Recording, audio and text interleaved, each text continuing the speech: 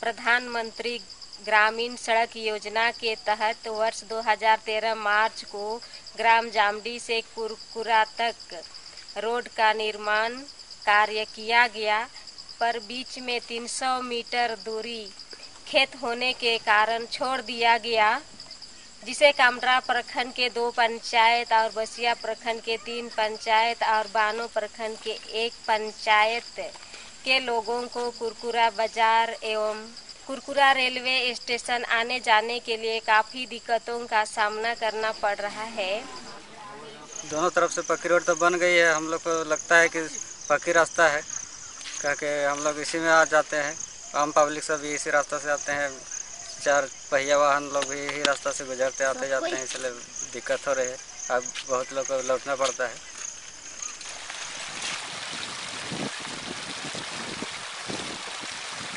ये रास्ता से हम लोग का पूरा साप्ताहिक बाज़ार है और स्टेशन जाने के लिए भी यही रास्ता है। सिर्फ़ यही रास्ता भर है।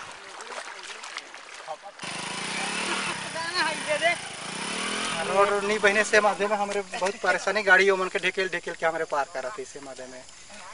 ये रोड के तनिक बना हुई इन्होंने तो गाड़ी तो पार हुई कि रोड तो बना ला है तो बीच दो है से कार में यहाँ हमारे के आवक जावक में रोज कुरकुरे स्टेशन आवा जावी करीला से माध्यम में ये रोड के बीच में रोज गाड़ी लाना ये बने के चाहिए।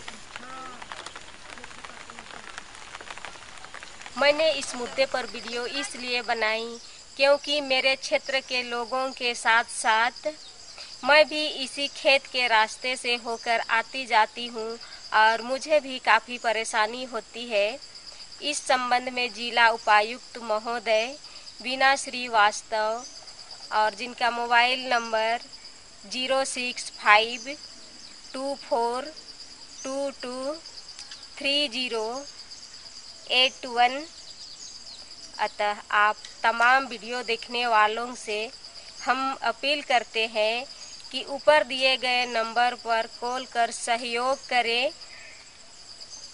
ताकि ग्रामीणों के मांग के अनुसार इस जगह पर गाडवाल खड़ा किया जाए, साथ ही पकीकरण किया जाए जिसे मेरे क्षेत्र के लोगों को आने जाने में सुविधा मिल सके। मैं शांति प्रखंड कामरा जिला गुमला झारखंड से इंडिया अनहट के लिए।